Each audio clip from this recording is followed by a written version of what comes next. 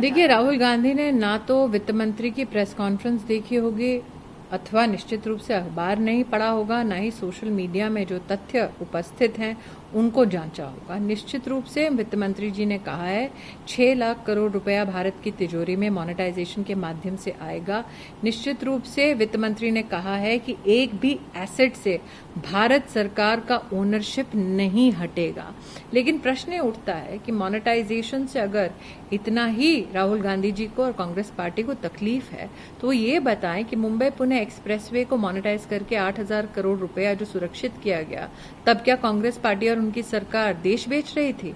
Airport को जब privatise किया गया साल 2006 में, तब क्या कांग्रेस पार्टी देश बेच रही थी? 2008 में रेलवे स्टेशन को मोनेटाइज करने का आरएफपी बिड जो डॉक्यूमेंट है, वो कांग्रेस पार्टी की सरकार ने राष्ट्र के सामने प्रेषित की।